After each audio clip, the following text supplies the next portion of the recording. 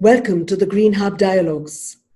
Through these conversations, we hope to connect the world of science and research and communicate some of the key priorities and understanding to the rest of us lay people. COVID 19 has paralyzed the world as we know it. The virus and the pandemic has affected every human life in some way or the other. In the conversation today, we hope to understand a little more about the pathogen transmission pathways, not just in science, but in the way it affects day to day human lives. We are very happy to have with us Dr. Abi Tamim Vanak. An animal ecologist and conservation biologist, Dr. Vanak is a Wellcome Trust DBT India Alliance Program Fellow and Senior Fellow and Convener for the Center for Biodiversity and Conservation at ATREE, Bangalore. His current work focuses on the ecology and conservation of India's semi-arid savanna grasslands, and he is known for his research towards the elimination of rabies in India. The conservation of species, landscapes, and biodiversity drives his research interests. One of the key aspects of Dr. Vanak's work is that he focuses not only on conservation in natural systems, but also in human modified and human dominated landscapes. So, thank you so much for joining us today, Abi. First thing that we'd like to know from you is what made you shift from functioning as a wildlife biologist and in more natural uh, based systems to more human dominated landscapes? What was that shift? So, my journey as a wildlife scientist started off uh, much like many others, you know, very interested with, in understanding animals, this great passion for the outdoors. After my undergraduate uh, degree uh, in in Chennai, where I spent more time uh, on the beaches of Chennai looking for olive ridley turtles than in classrooms, uh, I went to the Wildlife Institute of India to do my masters. And uh, you know, my training at the Wildlife Institute of India was a very traditional wildlife conservation training where uh, it was almost ingrained in you that wildlife means uh, animals in natural systems, and uh, the only way you could have these uh, large intact ecosystems with lots of wildlife in them was that if you remove people from there. During my PhD, I found that you know there's so much wildlife completely outside the protected area network, and this this wildlife existing in these fairly human modified and human dominated landscapes. Uh, and I started to explore more along the lines of how do animals adapt to human presence. Globally, when people talk about conservation, they hold up India as an example, saying, "Oh, you know, people are so tolerant of wildlife. We still have so much wildlife, despite having the second highest population densities." So, you know, why why are we losing that model? We already have that. That's something that should be nurtured, especially in India, which has a really long history of human presence. And by constantly uh, pushing this model of fortress conservation forward, uh, it's actually going to have a, ne- a net negative effect on conservation in India. It's actually our large scale incursion, you know, the large scale destruction, large scale commercial activities that threaten entire ecosystems. They're actually a huge problem for conservation without people, there would be no conservation success in India. We have to learn how to continue to coexist uh, with wildlife in such ecosystems. Uh, and that's the direction that my research has taken over the last 15 years or so. You have uh, worked a lot on rabies and other zoonotic viruses that cross over to humans and affect human lives. Uh, in the context of COVID, could you explain a little more about what these pathogen transmissions are? What are these pathogen pathways? Look, we are always surrounded by animals, uh, and we are susceptible to many of the pathogens that these animals carry. Uh, there are several routes that zoonotic pathogens can emerge uh, into humans. So, for instance, you could have a direct pathway where uh, the animal either, you know, through a bite, for example, with, with rabies, or it could be airborne, or it could, could be via a, a vector, such as a tick or a mosquito or a flea or one of those kinds of. Uh, when it, you know, the most common and probably the most dangerous is the aerosol route, uh, such as COVID 19. Um, and, you know, the possibility of that spreading quickly and fast through human networks becomes quite high. You know, COVID 19 uh, was bound to happen. Uh, we've had several signs that humans are susceptible to such a virus. Okay, for example, SARS, uh, and then MERS, the Middle Eastern respiratory, respiratory syndrome virus that emerged. These are all coronaviruses that came from bats. Uh, we've been warned about it for quite a few uh, few years. It's not it's not something that surprised many most scientists. If you now again consider humans as part of a natural cycle, humans are going to be affected by various kinds of pathogens. Rabies, which is one of the oldest known zoonoses, uh, we have very effective vaccines to prevent humans getting rabies, uh, and yet more than 20,000 people die of rabies every year in India alone. What is new in the in uh, in the face of or in the context of COVID is how rapidly this is spread, okay, and how it has gone, uh, how it has very quickly uh, attained a pandemic status and essentially shut down the world's economy. How much of this pathogen transmissions are actually linked to wild species and how threatened are humans uh, by this whole idea of zoonosis? There's a group of diseases called emerging and re-emerging infectious diseases, of which 65% of them are zoonoses. Okay, or more than 65% are zoonoses.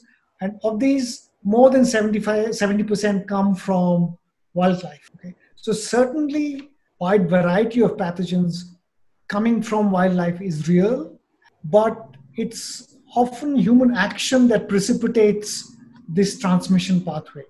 Once the pathogen has spilled over to humans, and then you have again human to human transmission happening, okay, such as in the case of COVID 19, that's when real problems start for us. Now, when we end up disrupting natural cycles or natural chains of transmission, either through uh, you know deforestation or um, or through capture of these animals and we bring them into uh, the, the live trade, particularly the live trade, and then they're kept in really unhygienic conditions uh, where then animals, you know, of different species um, intermingle. Then the chances of these viruses spilling over from one species to another species increases. Okay, um, and the rates of mutation also increase. And that's when the risk of emergence to humans is also the highest. Okay, but it's still not going to happen through just a one-off contact. It often requires repeated or prolonged duration of ex- exposure. Uh, for example, these um, so-called wet markets have been now highlighted as one of the main risk factors uh, but that's not necessarily the only way we can get exposed to it. Our large scale commercial animal production systems are also quite susceptible uh, to these kinds of viruses emerging or, or these pathogens emerging. For example, is avian flu, uh, swine flu is another example. Uh, so it's not fair to only blame the eating habits of certain groups of people. You know, all of us are equally culpable in this in terms of uh, in terms of contributing to, to the risk of the emergence of these kinds of pathogens. Many of these zoonoses tend to be uh, more rampant in tropical and resource poor countries and uh, areas, geographical areas. This time it has swept across actually more affluent, resource rich, even temperate. Uh, uh is there anything that you uh, feel that there is a reason that this is why it's happened?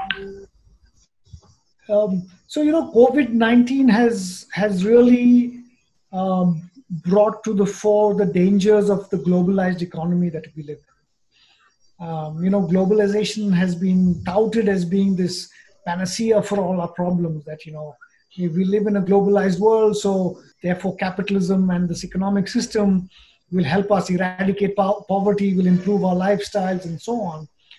But what it also does is um, it makes the risks local risks. It, it can take a, a local risk factor and make it globalized in, in an instant. Usually, when we talk about health systems and we talk about diseases affecting poor countries or poor people or the most marginalized, uh, we somehow tend to blame them for the risk that they put themselves at. This time, the opposite has happened. This time, it's actually the more well to do, the affluent, who are the ones who are, who are the most responsible for the, the spread of this, the emergence and the spread of this disease.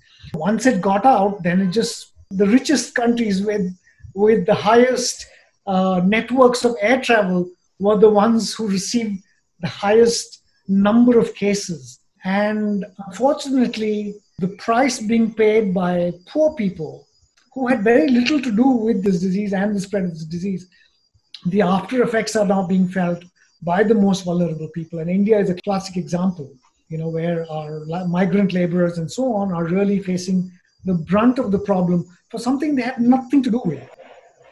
And, and in this time, like if you look at the pathogen pathway that you discussed earlier, the transmission pattern, I mean, rather than a pathway, it's been like a freeway this time. So, is this mm-hmm. indicative of uh, zoonosis and future disease outbreaks? Do you feel that this is a new norm in the way infections pan out? It, it doesn't take too much to understand for people who are, you know, for epidemiologists and virologists and so on who are, who are trying to understand these emergence patterns. They can see that uh, viruses that have a certain property um, that occur in certain kinds of hosts and which in certain situations can mutate rapidly okay? And then once once they jump over to humans then they have a tendency to spread quickly from you from human to human via an aerosol route. You, you know once you have those conditions right then you can predict very easily that this is going to happen okay? And why those specific regions? Why south china or southeast asia? Because they found that these are the areas where there's a lot of wildlife trade going on.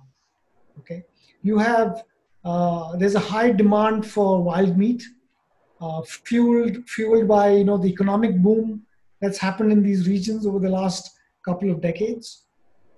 Chains tend to break or disrupt. The levels of interaction between humans and these host species increase, then the chances of us getting exposed to these pathogens also increases. Uh, and therefore, the chance of a, of a new zoonosis or a deadly, new deadly virus or some other pathogen emerging is quite high. Nat- natural scientists like yourself, you feel that worse pandemics and more complex pandemics or uh, emergence of disease could be on the way if we don't protect nature and preserve some of the natural systems where humans can coexist quite healthily with the balance. Uh, can you help us understand in the COVID context how it is important? Why is it important to maintain forest cover and keep some of these uh, natural systems safe? So you know, there's a there's a hypothesis. It's called the biodiversity dilution effect that posits that if the the more intact the ecosystem, the more diverse the number of animals in those ecosystems, then the less chance of the risk of emergence of pathogens or viruses from those hosts to humans, um, even if there's a high diversity of pathogens themselves. Okay, so that itself is a really good argument for us. I mean, for years we've been hearing that you know we should save the rainforest because it might hold a cure for cancer, for instance. Now we are finally also waking up to the fact that we need to save these ecosystems because they can also unleash some pretty deadly diseases upon us if we don't okay if we continue on the on this path of sort of rapid uh, blind economic growth okay which which just sort of ignores the state of the natural world around us then the world will come back to its knees again uh, there's another interesting hypothesis that says that you know the more intact populations of bats there are uh, the less the risk of emergence of a virus from those populations okay? because uh, large populations tend to buffer down the risk of a huge outbreak of these viruses within the bat population itself. Um, and especially if they're well connected, then there are always a pool of immune individuals in there. So there's the chance of a large outbreak of any pathogen, any virus occurring in any one population of bats is always low. You know, worldwide now, groups of scientists are now on a mission of discovery. They want to try and understand this virus sphere much better. So they can then categorize which ones are uh, at most or pose the highest risk to humans. If we equip ourselves with the knowledge of what is out there when a potential new virus does emerge, we'll be quickly able to identify where it came from and maybe even uh, prepare to have you know a vaccine ready for it. Uh, in India, especially, humans have had a really long history of interaction with natural systems, and because of that, we have sort of you know co-evolved with some of these pathogens, and we and and indigenous people especially are actually immune to many of the viruses and pathogens that are found in these areas. When we talk about domestic animals and our relationship with domestic animals, India has a huge diversity of native breeds. And we find that those native breeds, because they were bred in a certain environment, they actually have a lot of resistance to infections by the common pathogens found in that environment. Okay? It's only when we've gone into this like higher gear production system where we've brought in these uh, high yielding hybrids or we've uh, moved uh, animals around or from a system where they, um, you know, like for example, bringing in Holstein Friesian cows to India, they're just simply not adapted to this environment. And so they become really susceptible to a lot of diseases and they have to then pump them up with antibiotics and so on.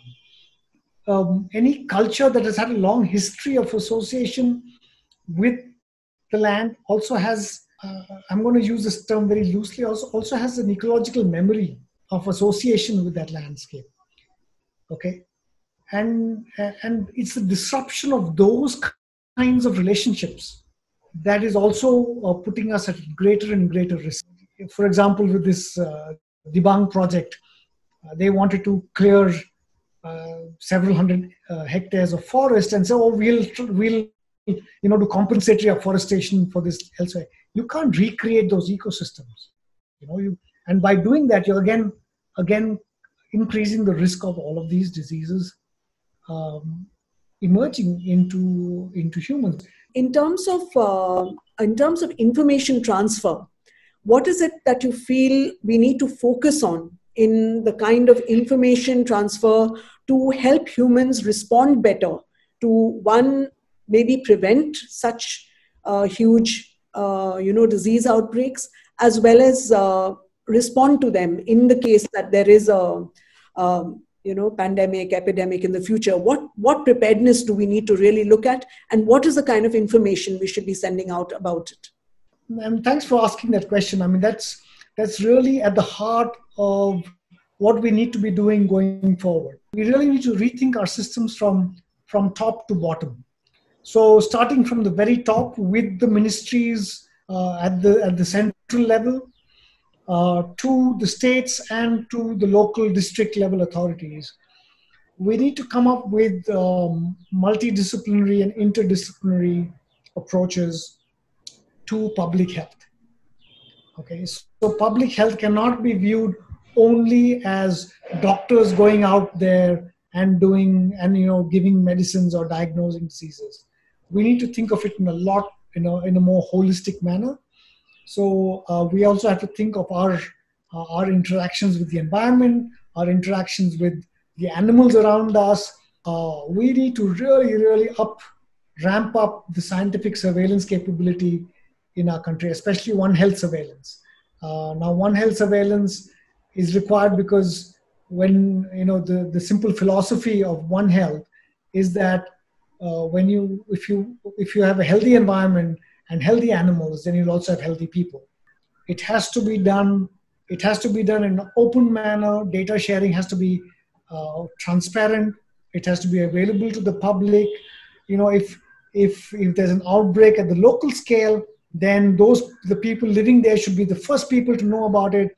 But that information should immediately flow upwards to planners at state levels and at central levels. So, in terms of general public, uh, the the information transfer from like very often the scientific community and the lay people are really there's almost no connecting link between what's happening so how what kind of social information what kind of uh, better understanding in the lay people can there be created through this experience of covid-19 so you know covid-19 has taught us the importance of getting uh, information out in a timely manner. One of the things that governments should do is to to take people into confidence, to be able to you know to put information out there. Uh, because if you don't put correct information out there, then the wrong kind of information will spread. And we need to almost have an army of, of people going out there, putting out the correct information. Um, we need we need to have more direct interaction between scientists, such as this forum, for example. I mean, knowledge is power. We we live in an information age, and when good information is not available, then the risk of fake news spreading becomes higher as well. Okay, so it's better that the government puts out good, factually correct, scientifically valid information. Otherwise, people start inventing their own facts. Uh, this whole idea of vaccinations now, everyone, the vaccine is the biggest savior of the situation. What do you feel about vaccines? Do you think that it's important that humans become vaccine dependent, or is it something that is a pharmaceutical conspiracy theory that one hears about? What are your views on this? Um, no, I mean, look, we're already vaccine dependent. Uh, the great strides that have been made in human well being and human health, greater longevity, all of these are attributed to vaccines. Our children, you know, are not dying uh, at young age from easily preventable diseases. You know, we have eradicated smallpox because of vaccines. We have uh, almost eradicated polio across the world because of vaccines.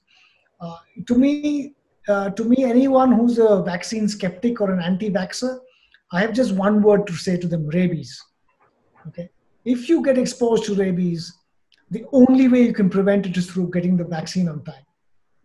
Okay, there is no cure for it. It is 100 percent fatal.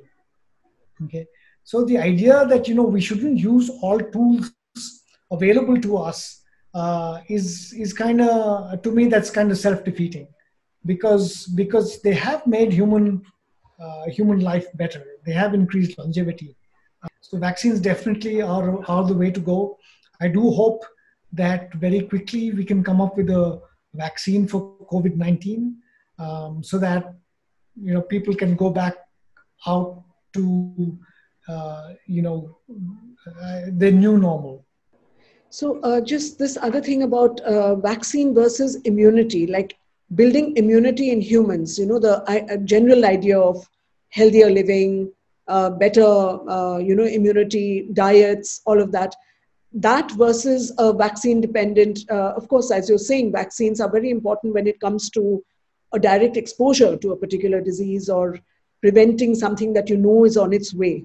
But oh, by and large, as human society, do you feel building immunity is a very important part of health and part of the natural system that you would advocate? Uh, you know, building immunity to diseases that you can build immunity to is very important okay so there are some things that you know for example as children we were exposed to chickenpox and most of us are immune to that now okay? Uh, but you don't build immunity to rabies for instance okay? Uh, you will very likely die from ebola if you contracted it. You know the mortality rates for some of these pathogens is really really high and there's very little chance that you will survive the attack of that virus to be able to build sufficient immunity.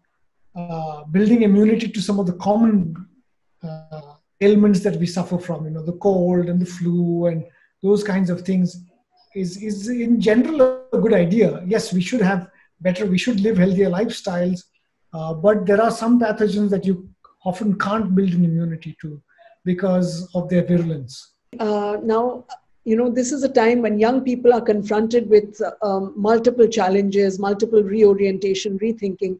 What would be a key message that uh, you would like to leave with the young people who are responding to this time?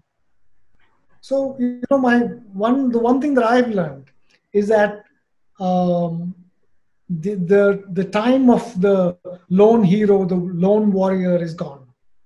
Okay? Uh, we need to be working together to solve problems, societal problems, uh, no matter what they are, no matter in which field.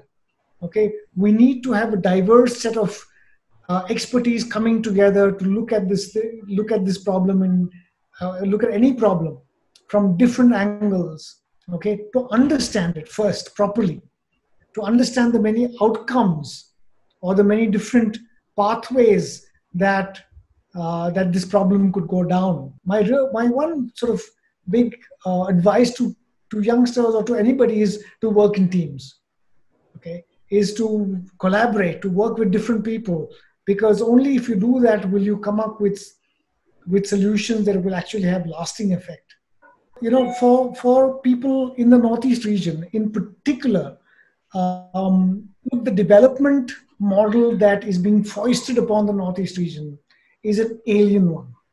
Now, the northeast region is a biodiversity hotspot, and you need to work in ways that will preserve that and showcase that. And that's where the economic development should come through preserving that biodiversity.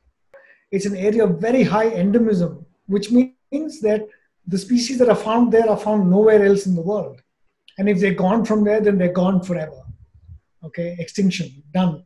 Uh, so the idea that you know we could uh, we can we can drown out the forests or we can have a large power plant or a coal mine or whatever in some of these areas just is it sounds so ridiculous and bizarre and you know in a hundred years from now people will be wondering what were those people thinking?